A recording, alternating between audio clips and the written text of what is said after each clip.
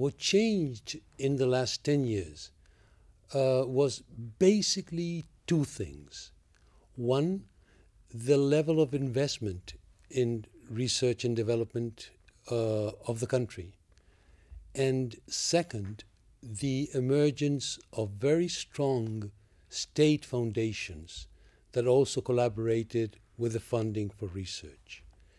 If you take those three things together, that is a history of uh, a graduate program that has been going on for the, la- for the last 30 years, and then a major increase in funding from both federal and state resources. And at the same time, you have a country that really starts growing.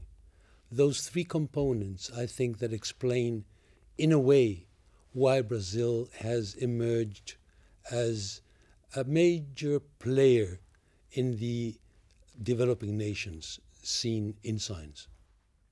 If the economic situation of Brazil keeps growing by say four or five percent a year over the last over the next decade, and the national plans for innovation at the industrial level start really giving results, then you will you, you will have a new actor in the scene.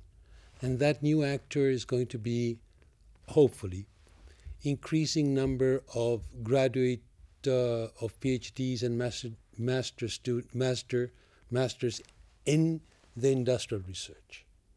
I think that that and legal conditions for that happening may be another turning point because I agree totally with you that the number of PhDs per million or whatever indicator you want uh, in Brazil, it's much lower than in a developed country. Even though we have increased by orders of magnitude the number of PhDs that are that graduate each year, we started 20 years ago with about 200, 300, and now we're reaching 10,000. If you look at the overall world scene, we will reach development in terms of using science and technology for development if more PhDs get hired in the private sector. One, second, and as important as if what we have proposed repeatedly, the development, the sustainable development of the Amazonian re- region goes through an S and T revolution. That is, if you incorporate science and technology into the thought of sustainable development of a large region that has essentially very few science and technology centers, again, you will need and you will see another leap forward. Brazil is ready for a new brain gain wave because if the situation is, keeps improving, we will be able to hire good brains from anywhere in the world, of course, including Brazil. So, my impression is that international collaboration is different today than it was five years ago.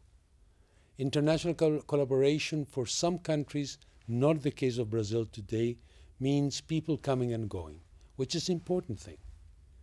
Now it's more important in Brazil to have joint research or development projects with international partners at the same level and gain brain globally.